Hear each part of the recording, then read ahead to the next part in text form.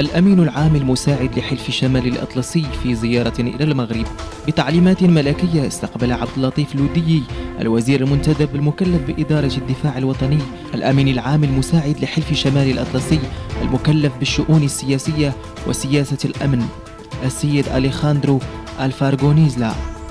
اليوم الثلاثاء بالرباط. بيان لإدارة الدفاع الوطني أشار إلى أن هذا اللقاء يأتي على هامش الندوة التي انطلقت أشغالها اليوم حول 25 سنة من التعاون بين المغرب ودول حلف شمال الأطلسي في إطار الحوار المتوسطي. وخلال اللقاء تبادل المسؤولان الحديث حول عدة قضايا ذات اهتمام مشترك في مجال الدفاع والأمن كما عبر عن إرادتهما المتجددة في تعميقها أكثر. لا سيما في مجال تعزيز قدرات الدفاع.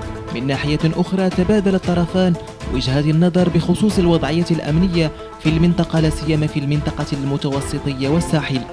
للإشارة فإن التعاون بين المغرب ودول الحلف الإطلسي يهم مجالات تكوين الأطر العسكرية وتبادل الخبرات في ميادين متعددة ما تنسوش تابعونا على جميع وسائل التواصل الاجتماعي والاشتراك في القناة والضغط على زر الجرس ليصلكم الجديد.